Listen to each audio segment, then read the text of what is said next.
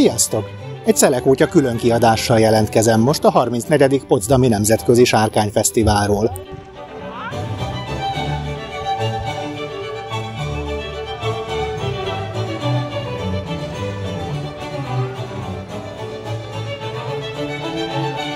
Sajnos ebben az évben komolyabb sárkányfesztiválra nem jutottam el, itt nem valami jó a szél, de a hangulat azért kiváló.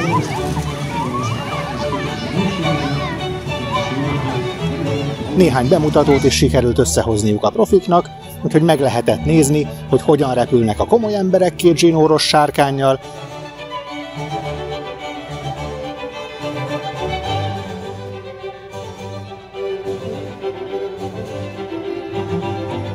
Láttuk négy zsinóros bemutatókat is, van néhány óriás, inkább luftballonra emlékeztető sárkány az égen, és különféle művészi kreálmányok is több-kevesebb időt a levegőben töltöttek. Ezekből vágtam most össze egy kis válogatást nektek.